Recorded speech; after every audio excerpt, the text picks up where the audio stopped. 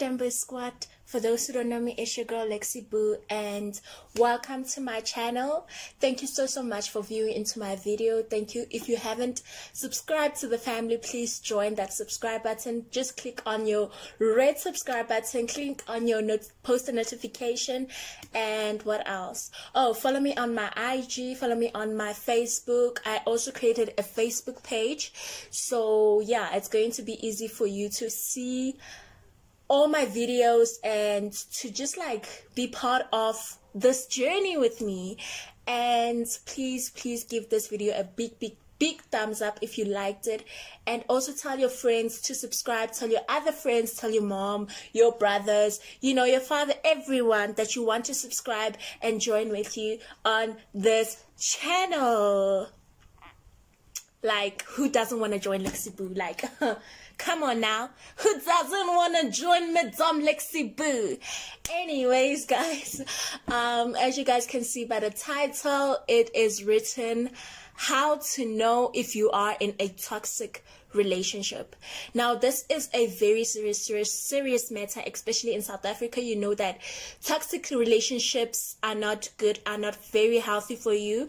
It's either you're going to hurt you, you're going to end up being very, very badly hurt, or you're going to get out of the the, the relationship while it's um you could have gotten time to get out, but then you'll find yourself being in a situation whereby it's too late to get out, or you'll get out of the relationship with a coffin.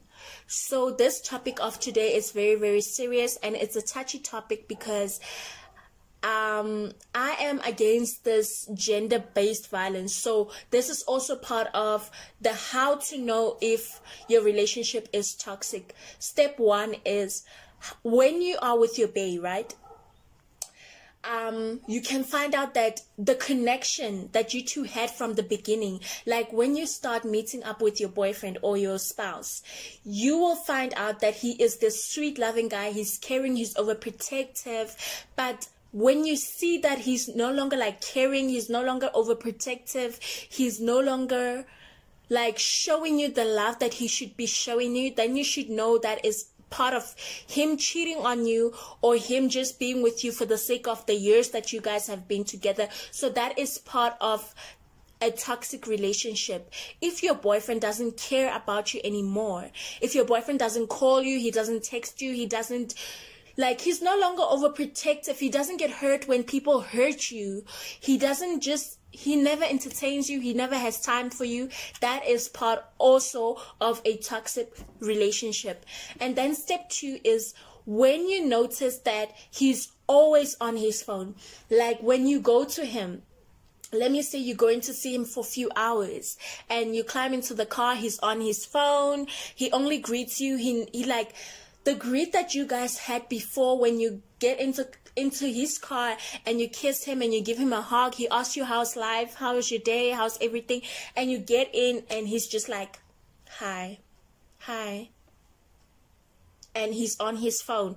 That shows it's a toxic relationship because the communication is no longer there. It also means that the spark is no longer there and he's no longer interested interested um, but he's just like scared to tell you. That's the reason why he's not telling you, or he's just cheating on you. Also, basically. So this um, this steps or tips are also part of have how to know if your boyfriend is cheating on you versus how to know that you are in a toxic relationship. Then step three, if your spouse or your bae is putting a hand on you. Oh my God.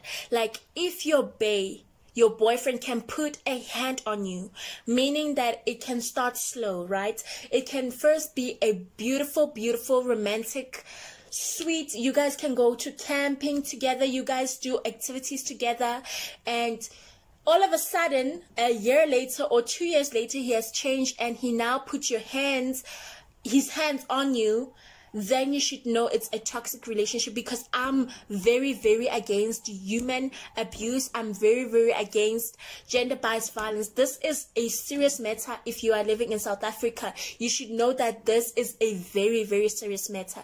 Don't be with your spouse just because you think that now you've been with him for years and now you're going to struggle to be to like all the memories you're going to throw away the years that don't care about that. Your happiness has to come first. If he starts putting a hand on you it shows that he doesn't love you. Because you as a person you will never hurt what you love. Never would you hurt something that you love. So why would he put a hand on you?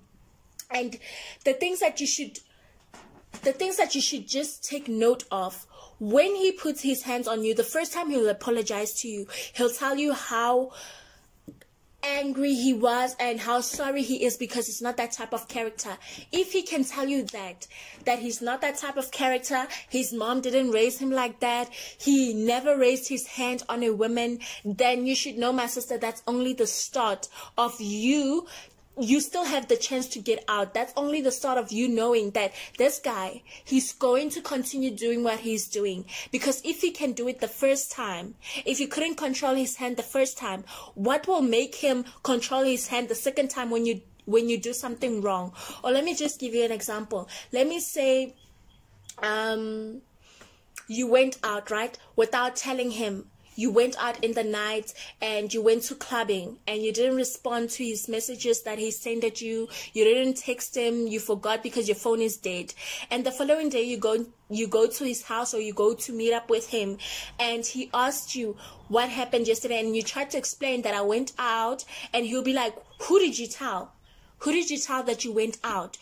Why did you go out without me giving you a permission? If a guy says those kind of things and he beats you honey, there is no way that he's going to stop. Like he's going to continue beating you and beating you and beating you. It's either you're going to end up being in a coffin, dead, or it's either you're going to end up very, very badly bruised up.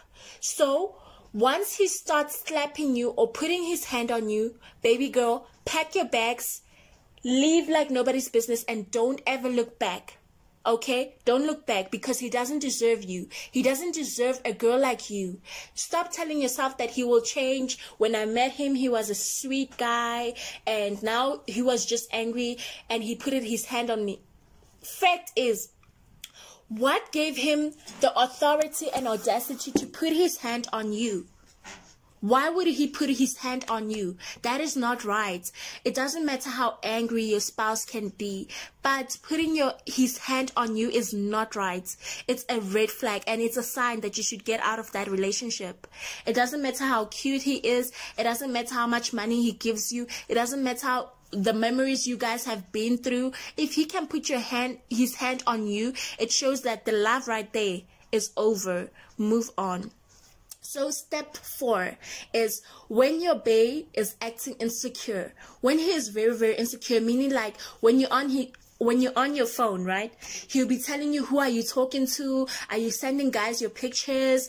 Um, when you tell him that let me give you an example when you, he wants to meet up with you and you tell him that you're busy and he'll be like who are you with where did you go are you with other guys and things like that when he is insecure, that is toxic. Because why are we in a relationship when you can't trust me?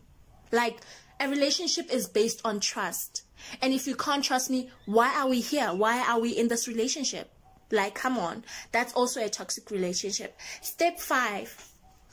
When your man is also let me say when your man is cheating on you right that is a red flag right there. That is a toxic relationship. It means that when a man can cheat on you, it means that he doesn't love you, he doesn't respect you, he doesn't value you, right?